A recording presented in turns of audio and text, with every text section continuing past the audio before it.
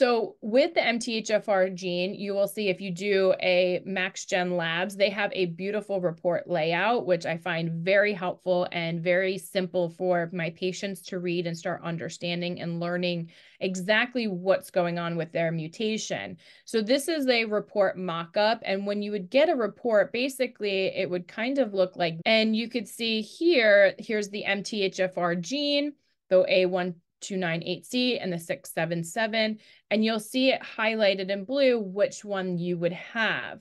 So for instance, this particular report, you'll see that the 677T, the person is positive, positive. So they have two home, so they're homos. And wild type means negative, that you do not have a variant there. So it's kind of like a negative, you don't have it but anything that is a heterozygous or homozygous would mean a positive variance there. That part's a little tricky. I promise it does get a little bit easier if you um, are in it a little bit longer.